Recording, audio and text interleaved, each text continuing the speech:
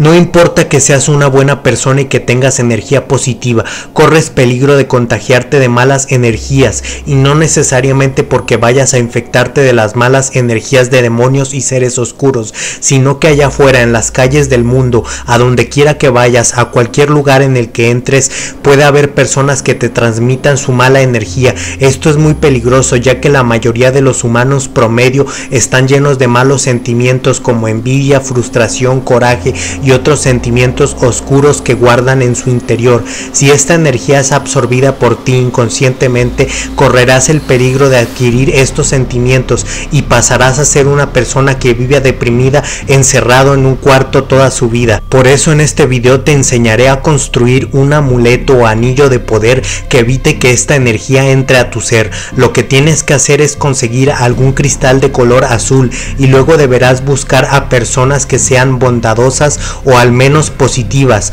y froten con sus manos estos cristales para que transmitan estas energías al amuleto y así puedes bloquear las malas energías. También estas personas de carácter positivo pueden rezarle un rezo de protección para que funcione como bloqueador. Ya después de eso puedes colgarte el cristal en el cuello y de esta manera bloquear las malas energías. Para una mejor protección recomiendo modificar este cristal y ponerle algún símbolo poderoso como el metratón.